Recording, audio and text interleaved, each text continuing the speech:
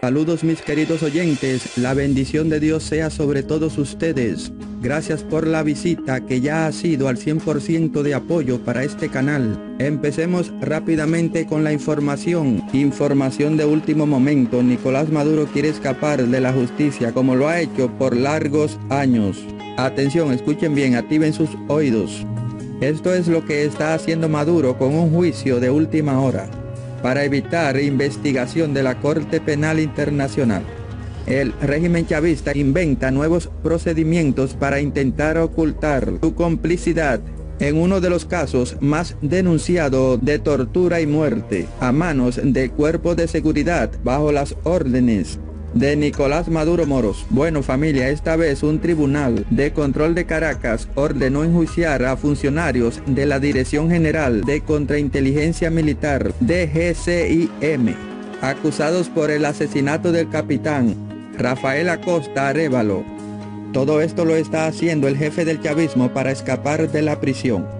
Así la comunidad internacional creerá que Maduro está cambiando y combatiendo con manos de hierro la corrupción en Venezuela.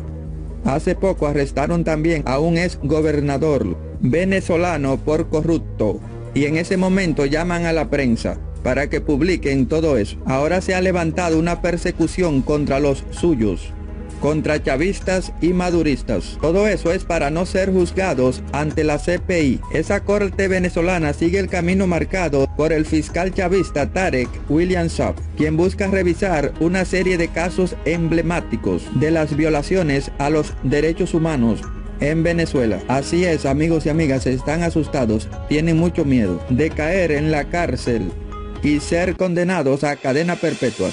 Por esta razón están haciendo creer a todos que están cambiando y que respetan los derechos humanos en el país suramericano y así escapar de la prisión.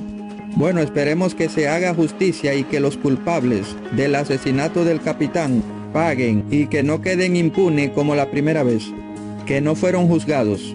Esta vez lo están haciendo por presión de la Corte Penal Internacional, asustados y temblando, y seguirán condenando a otros más.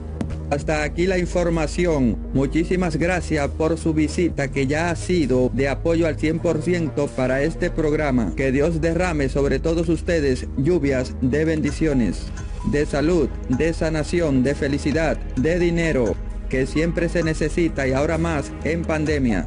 Hasta pronto. Chau, chau.